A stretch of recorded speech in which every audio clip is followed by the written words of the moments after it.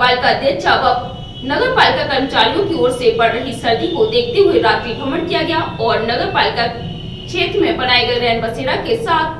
अलाव पॉइंटों का निरीक्षण भी किया गया। नगर पालिका अध्यक्षा मनोरमा देवी द्वारा लगातार बढ़ रही शीतलहर को देखते हुए रात्रि में नगर पालिका द्वारा संचालित निःशुल्क रैन बसेरों और अलाव के